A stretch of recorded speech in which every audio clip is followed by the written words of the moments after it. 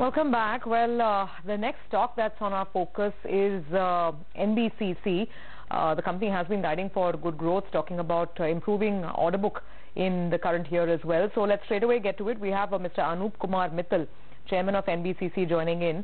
Uh, sir, let me start by getting your thoughts on the first quarter. How is the year off to in terms of a start? Because you gave us some very optimistic projections when we spoke to you for FY19 earlier as well. See, FY19, uh, I expect that uh, uh, the growth should be minimum 30% and it will be visible from the first quarter, means uh, from this quarter itself. And uh, obvious reason is uh, some of the large value project which we started last year in fag end, maybe third quarter or fourth quarter, now are giving revenue and this will be booked in this financial year onward. So um, the GST impact that you've seen in all of FY18, you think that's largely behind you? Yes, uh, uh, except uh, in this quarter, this is first quarter last year that quarter was uh, also inclusive of GST. But uh, nevertheless, uh, this quarter will show uh, growth of at least 25 to 30 percent. Even uh, GST, if uh, this quarter we are taking X G, uh, GST and the last year quarter was with GST. Even then, uh, this quarter will uh, show you uh, growth of 25 to 30 percent. And next uh, quarter onwards, uh, it's a very clear apple-to-apple comparison uh, X GST in uh, both the years. Okay. Uh, you recently bagged a few orders, about 1200 crores in Himachal Pradesh, almost 400 crores from the Odisha government. Uh, tell us a little bit about that. Uh, what kind of you know timeline would this have for execution? When will it start flowing into your revenue stream? You see, the, very recently we have uh, bagged one order uh, from uh, Health Ministry for construction of AIIMS. Uh, approximate value is about 1300 crore rupees, 1300 crore rupees. And the timeline is about three years for construction of entire complex. But uh, because of the uh, necessity in that area for AIIMS and hospital, uh, our plan is to start some infrastructure, maybe OPD or some bed hospital by end of this financial year. So uh, you will see revenue recognition from this project from third quarter onward and it will go on. And similarly, we have bagged other orders like some border fencing works, uh, PMGSY works, uh, IITs. So all these projects are uh, on track and uh, that's why I said the revenue booking will start uh, from this financial year and uh, you will see real growth uh, in the company uh, which we were expecting uh, since last one year. Hmm. Also, Mr. Mittal, there has been some talk of, uh, you know, appointing NBCC as the, the manager perhaps of a couple of these uh, properties which are seized by regulatory agencies because of one reason or the other. Now, has there been any progress? And I'm just trying to understand what's going to be the revenue share, as in what do you gain out of it in terms of your uh, top line? Uh, you're talking about which project?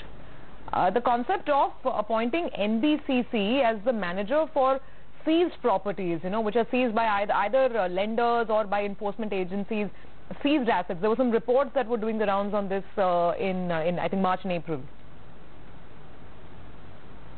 You see, NBCC is considered uh, is being considered for uh, developing affordable housing on sick PSU or loss-making PSUs, and we are also very keen to start those projects uh, on uh, government land, and some of the projects are under consideration, and uh, DPR has been prepared, uh, and uh, maybe in a month or two months' time, you will hear that uh, in which part of the country we will start uh, affordable housing and the model uh, will be almost similar what we are doing in Kidwai Nagar and other places. Okay, so what will then your affordable housing portfolio grow to if this kicks off this year itself? Then uh, how much of your revenue do you think you will garner from this side of the business, affordable housing?